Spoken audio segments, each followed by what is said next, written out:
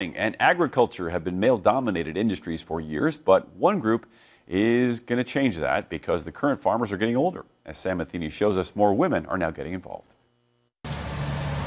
More women are farming than ever before. Some women, they want to be the main operators. They want to come back to the family farm and take that over. Census data proves that more women are heading to the fields in Illinois, and it's a positive for the industry, as the University of Illinois Extension says the average age of Illinois farmers is 62. The 2012 census shows there were 24,000 women farm producers in our state.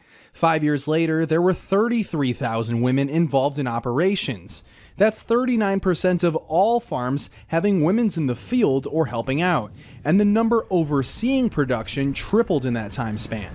Carisha Devlin works for Annie's Project, helping educate women in the industry nationwide who feel they've been left out. A lot of them are inheriting that with no idea of what to do with it. Their parents, their father, didn't think that a girl's place was on the farm. With interest level climbing, more women are seeking education to work in agriculture, especially as kids. You don't look back. Once you're hooked into it, you're hooked. A graduate of Illinois State University, Caitlin Hayes now teaches agriculture to more than 150 students at Normal West High School. Hayes says most of her students who want to become farmers or work in the ag industry do not come from farming families, and Hayes didn't either. What is a little bit more empowering for the female students in here is that a lot of them take charge. A lot of them just they decide that they're going to be their group's leader. And Hayes believes the next generation of leaders will someday have more women in farming than men.